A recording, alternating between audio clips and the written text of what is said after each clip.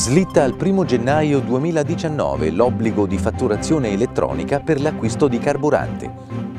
Le piccole imprese dell'agroalimentare volano in Giappone grazie a Confartigianato e all'agenzia ICE. In arrivo novità positive nel percorso per diventare meccatronico. Campagna iscrizioni volontarie a Sanarti, c'è tempo fino al 15 dicembre 2018. Confartigianato Bologna Metropolitana lancia il corso per sviluppatore 4.0.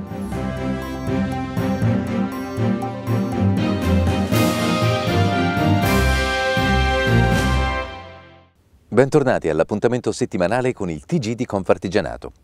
In settimana, come annunciato alla nostra assemblea del 26 giugno, il Ministro del Lavoro e dello Sviluppo Economico Luigi Di Maio ha firmato il decreto che rinvia l'entrata in vigore dell'obbligo di fatturazione elettronica per l'acquisto di carburante. I dettagli nel servizio di Fabrizio Cassieri. Il ministro del lavoro e dello sviluppo economico Luigi Di Maio lo aveva ribadito all'Assemblea 2018 di Confartigianato. L'obbligo di fatturazione elettronica per l'acquisto di carburante slitterà al 1 gennaio 2019. Come per tutti gli italiani, imprese e partite IVA, che hanno rapporti commerciali tra privati. La conferma alle parole del titolare del Dicastero dello Sviluppo Economico è arrivata con la pubblicazione della norma sulla Gazzetta Ufficiale. Tutto rimandato al prossimo anno, quindi, per la soddisfazione dei gestori delle aree di servizio che si erano detti pronti ad incrociare le braccia. Una soddisfazione condivisa anche da Confartigianato, che proprio nei giorni scorsi aveva chiesto il rinvio della norma. Noi abbiamo sempre auspicato una proroga dell'adempimento che è partito dal 1 di luglio 2018 per alcune categorie di imprese. Eh, la proroga doveva essere 28, doveva essere un rinvio per tutti al 1 gennaio 2019. Purtroppo soltanto una categoria, i distributori autostradali di gasolio e benzine hanno beneficiato della proroga, rimangono all'interno dell'adempimento dal 1 di luglio numerosi altri soggetti, tra cui tutti i subappaltatori e subcontraenti con un'impresa che opera con la PA. Purtroppo l'incertezza è abbastanza sovrana in questa materia, ma soprattutto un provvedimento del dell'Agenzia delle Entrate, una circolare è proprio uscita il 2 di luglio, che ha provato a delimitare e a perimetrare meglio l'adempimento. Una circolare che è arrivata sostanzialmente in zona Cesarini, quindi noi come intervento prioritario chiederemo al Parlamento in sede di conversione del decreto legge eh, della proroga del 28 di giugno 2018 chiederemo la non applicabilità delle sanzioni per tutti coloro che hanno avuto l'adempimento avviato dal primo di luglio ma che proprio in virtù dell'incertezza molto probabilmente qualcuno continuerà a fare fatture cartacee in luogo di quelle digitali. Secondo le stime degli economisti, il rinvio costerà allo Stato 5 milioni di euro, oneri che l'Italia aveva previsto di incassare dal 1 luglio 2018 e che ora coprirà con i fondi di riserva del Ministero dell'Economia. Non saranno i benzinai, quindi, a far da apripista all'obbligo di fatturazione elettronica tra privati, già in vigore per i fornitori della pubblica amministrazione. L'impegno di Confartigianato resta quello di preparare tutte le imprese a questa vera rivoluzione fiscale, come Confartigianato ci siamo mossi per tempo, fin dall'inizio dell'anno abbiamo coinvolto le nostre eh, società di servizi con un percorso di formazione sul nuovo adempimento, abbiamo coinvolto le imprese cercando di raggiungerle direttamente anche con forme di interlocuzione abbastanza significative, ma soprattutto da adesso in poi, dal 1 di gennaio 2019, chiederemo al legislatore eh, delle modifiche sostanziali per quanto riguarda gli adempimenti che dovrebbero venir meno con l'introduzione della fatturazione elettronica, chiediamo massicce dosi di semplificazione. Noi siamo convinti che la fatturazione elettronica sia un percorso ineludibile, che vada anche nella digitalizzazione del, del Paese, eh, quindi faccia bene sostanzialmente al sistema Paese, però dall'altra parte, visto proprio che viene introdotto un nuovo adempimento così gravoso, almeno in fase di primo avvio per le imprese, devono essere abolite una serie di adempimenti. Dal 13 al 15 novembre 2018 Confartigianato guiderà la missione dell'agenzia ICE in Giappone per presentare tante eccellenze italiane dell'agroalimentare e della produzione di vino. Una missione che rientra nel progetto Japan Export Pass e che farà tappa a Tokyo e a Kyoto. Per preparare gli imprenditori al mercato giapponese, la missione sarà preceduta da due giornate di formazione sulle leggi, l'economia e la cultura degli investitori nipponici. Per partecipare all'evento c'è tempo fino all'11 luglio prossimo. Per info e adesioni è possibile visitare il sito internet http bit.do icegiappone. Confartigianato Autoriparazione ha ottenuto dal Ministero dello Sviluppo Economico importanti chiarimenti e conferme sull'iter per la qualificazione professionale e l'esercizio dell'attività. Vediamoli insieme nel servizio di Lorenza Manessi.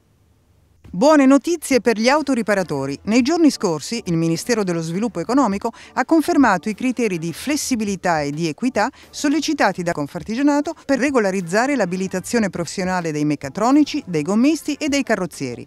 Il via libera del Ministero è una tappa importante della battaglia che ha visto Confartigianato conquistare lo scorso dicembre la proroga di cinque anni per completare il percorso di abilitazione alle tre attività dell'autoriparazione previste dalla legge di riforma del 2012. A seguito della proroga servivano chiarimenti tecnici e indicazioni specifiche sul percorso che le imprese devono compiere. Il pressing degli autoriparatori di Confartigianato ha ottenuto l'effetto auspicato. Il Ministero ha accolto la richiesta di prevedere quei meccanismi di flessibilità indispensabili per tutelare gli imprenditori già attivi nel settore dell'autoriparazione e difendere l'operatività e il futuro di migliaia di operatori. Altrettanto positivo l'esito del confronto con la conferenza Stato-Regioni, che nei giorni scorsi ha condiviso le proposte della Confederazione sugli standard formativi per la qualificazione professionale degli autoriparatori. Due risultati frutto dell'impegno di Confartigianato Autoriparazione per restituire certezze agli imprenditori che non vogliono sconti o corsie privilegiate, ma chiedono semplicemente di poter operare con tutte le carte in regola in un mercato profondamente cambiato, che ha leggi nuove e che richiede nuove competenze. Sanarti, il Fondo di assistenza sanitaria integrativa dell'artigianato e della piccola impresa, ha riaperto i termini per le iscrizioni volontarie di imprenditori, soci, collaboratori e dei loro familiari. C'è tempo fino al 15 dicembre 2018, quindi, per aderire al fondo per il 2019, approfittando della copertura di prestazioni, visite specialistiche e tanti altri servizi sanitari. Per informazioni e contatti è possibile visitare il sito internet www.sanarti.it. Il 27 giugno Confartigianato Bologna Metropolitana ha presentato a un convegno le opportunità di lavoro nate con lo sviluppo tecnologico introdotte da Impresa 4.0. Sentiamo Lorenza Manessi. Le imprese cercano tecnici 4.0, ma sul mercato del lavoro c'è carenza di queste figure specializzate. E allora Confartigianato Bologna Metropolitana punta a colmare il gap con il corso Sviluppatore 4.0. L'iniziativa è stata presentata lo scorso 27 giugno a Imola, durante un convegno che ha visto la partecipazione di rappresentanti del mondo delle imprese e della formazione. Al centro del confronto il problema della mancanza di manodopera richiesta da imprese sempre più innovative in cui le competenze tecnologiche fanno la differenza e decretano il successo aziendale. Agli imprenditori serve personale preparato e motivato e proprio a questo obiettivo è dedicato il corso gratuito organizzato da Formart, il centro di formazione di Confartigianato Bologna Metropolitana. Dall'analisi proprio dei fabbisogni occupazionali abbiamo individuato questo percorso, un percorso che avrà una durata di 350 ore di formazione d'aula al quale si aggiungeranno 150 eh, ore di stage eh, in azienda, eh, nel quale andremo a formare appunto la figura dell'analista programmatore web, eh, figura che ehm, trova riscontro nelle richieste occupazionali proprio del tessuto produttivo. Era un percorso gratuito orientato verso eh, disoccupati residenti nella regione Emilia-Romagna al termine del quale eh, verrà conseguita a seguito del superamento di un esame la qualifica appunto di analista programmatore web. È proprio un'esigenza di risposta a eh, un fabbisogno che abbiamo rilevato sul territorio, quindi riteniamo che sia molto importante formare queste figure per poterle inserire e garantire sviluppo al sistema eh, produttivo, soprattutto in questo settore che è così radicato in questo territorio. Il corso rientra nell'impegno dell'associazione per promuovere lo sviluppo del tessuto economico locale, come spiega Amilcare Renzi, segretario di Confartigianato Bologna Metropolitana.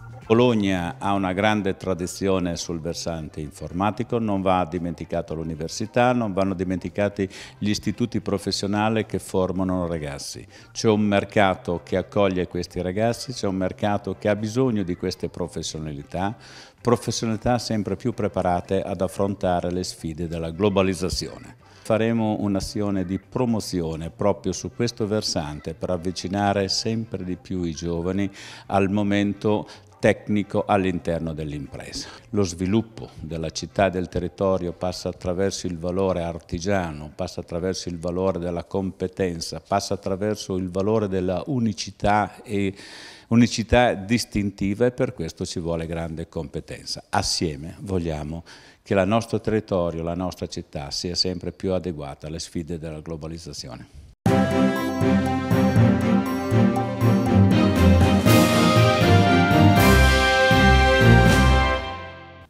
Milano dal 10 al 12 luglio, Origin, Passion and Beliefs. Nell'ambito di Milano Unica si svolge il più importante evento fieristico legato alla moda e alla manifattura artigiana di settore. Per il terzo anno consecutivo, Confartigianato Moda sarà main partner dell'iniziativa. E vediamo in chiusura qual è il numero scoperto questa settimana dagli amici esperti. Vediamo. 311. Sono le imprese dell'artigianato nate ogni giorno nel corso del 2017. Accidenti. Un bel numero. Bene, è tutto. L'appuntamento, come sempre, è per la prossima settimana, lunedì, sul nostro sito e sul nostro canale YouTube. Buona settimana e buon lavoro!